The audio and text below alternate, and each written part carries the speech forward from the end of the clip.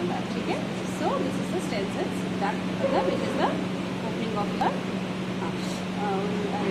पिछले बैच मैंने लिखा दिस द फेशियल भी और यहाँ पर अगर तुम लोग पार्पेट करोगे तो दिस इज़ द कौन सा facial art so that is winding the angle of your mandible ठीक है अभी इसीलिए इसको बोलते हैं कि यू पार्पेट किया that is having the superficial core. So that will move on your mandible angle of your so so, ये क्या होगा दिस द मैसेजर ठीक है this the Then, then this is zygomatic bone and in the face what you can see is the it which uh, you don't have any superficial sorry you don't have the deep fascia.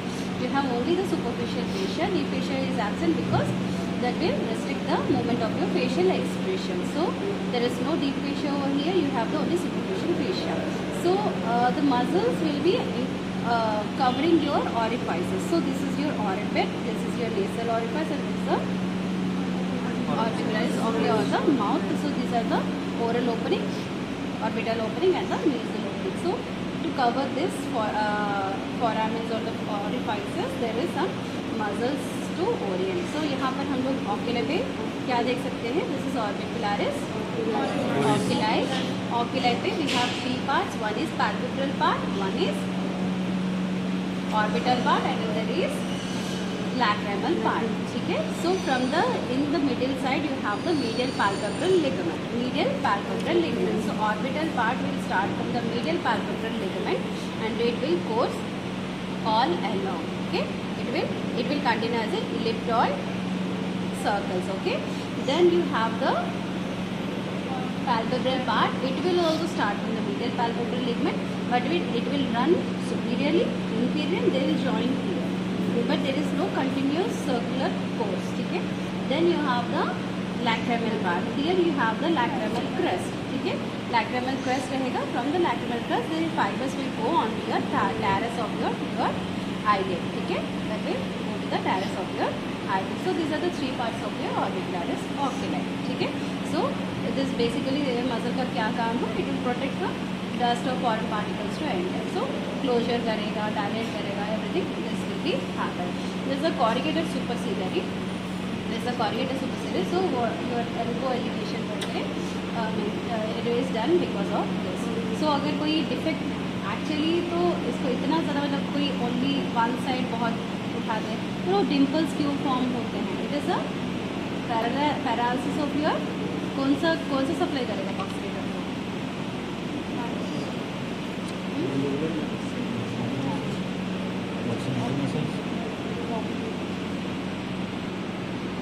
देखो, पढ़ो because of your paralysis of your buccinator muscle ऐसे नहीं कि beauty beauty करके बोलते हैं but that is because of that paralysis किसी को ऐसे है तो बता दीजिए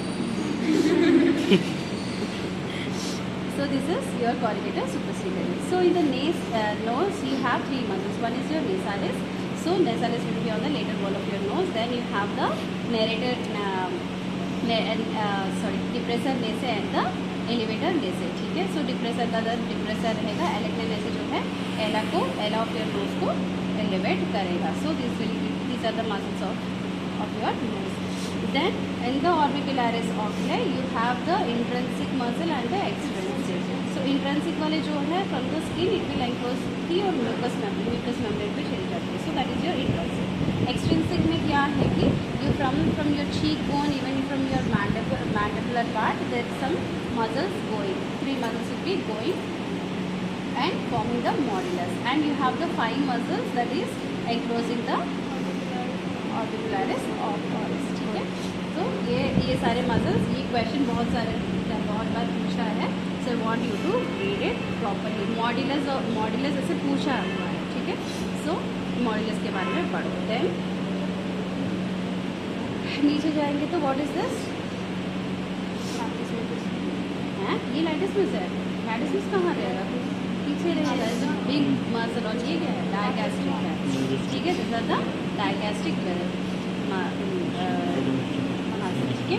And is forming the floor of your floor of your mouth ठीक है this the floor of your mouth नीचे क्या रहेगा? यहाँ पे तो मैटेबल है so something should form the floor of your mouth so this is form this these muscles are forming the floor of the mouth okay है और ये आपका स्पाइन सॉरी वर्टिब्रा है बाकी सारे कुछ पहचान में नहीं आ रहे हैं मुझे खुद एक्सप्लेन करने के लिए ये हो सकता है लिगमेंट कलिस कौन सा लिगमेंट हो सकता है डाइजेस्टिव कलिस the anterior and this is going posterior belly ठीक है, ये स्लिंग वाला है this anterior belly this the posterior belly which is going posterior so this is digastric this is the digastric then we can talk about the brain. So ब्रेन के बारे में हम लोग बात करेंगे तो first first you have to know the poles ठीक है? This anterior pole posterior pole and this the lateral pole ठीक है? सो एंटीरियर पोल मतलब पोस्टीरियरली अगर आपका सेरिबलम है तो this is the posterior pole and आपका ऑक्सीपिटल पोल थोड़ा शार्प रहता है and the anterior pole is something convex और द ब्रॉडर broader रहेगा then both the cerebral hemisphere are connected by the corpus callosum in center both the hemispheres are connected only by the corpus, Corpus callosum, callosum. which is the commissural fibers these are the commissural fibers मतलब right hemisphere is coordinating with the left hemisphere only by the corpus callosum again we have some fibers that is like anterior commissure posterior commissure and all ठीक है तो वो सारे कमिशंस भी connect करते हैं। There is some exchange of the information from right to left ठीक है सो इसमें हमारा क्या है? This is the superolateral surface this is the medial surface ठीक है? And this is the inferior surface okay so इसको अभी ब्रेन में हम लोग इसको पोल्स में कैसे डिवाइड करते हैं? कितने कितने सेगमेंट्स हैं इसमें? Lobes frontal lobe parietal lobe, occipital and temporal. So so, ऐसे हमें ऊपर से पता है लेकिन हम लोग on what basis will divide this into frontal parietal and the occipital ये कैसे है कि first thing is you have to check for the central sulcus ठीक है? सेंट्रल सल्कस का ये का क्राइटेरिया है कि it has to cut the medial border okay it has to cut the medial border and we have to trace it should not cut the lateral sulcus it should not cut the lateral sulcus. तो ये आपका lateral sulcus है। मतलब यहाँ तक आपका lateral sulcus है। मैं क्या बोल रही हूँ? It should cut the medial surface but it should not cut the lateral so यहाँ पर अगर हम लोग मैं देखूँ तो ये थोड़ा मीडियली है है ना? मीडियली जा रही है। If we trace this like this देखो, इसको मैं ट्रेस कर रही हूँ। It has been and here लेकिन इस सर्कस में एंटर नहीं किया है। बाकी इसको छोड़ के हर किसी को तुम लोग ट्रेस करते जाओ इसको ट्रेस करो यहाँ पर एंड हो चुका है। इसको ट्रेस करो इट हैज़ बीन एंडेड कोई भी मीडियल बॉर्डर को कट नहीं करा। So this is the base this is the main sulcus you have to identify that is your central sulcus इसके बाद ये पूछेंगे कि on what basis you have set this is a central sulcus so two points you have to consider it has to cut the medial border and it should not cut the lateral sulcus okay so that is the important point you have to so ये central sulcus को आइडेंटिफाई करने के बाद क्या है? Anterior to the central sulcus is your pre central sulcus ये central sulcus है। इसके आगे जो है प्री सेंट्रल सर्कस इसके पोस्टीरियर में जो है we call it as the post central sulcus ये अगर सर्कस है इसके लिए इसलिए प्री एंड पोस्ट बोला है। सो डायरे को क्या बोलेंगे? Pre central gyri post central gyri ठीक है?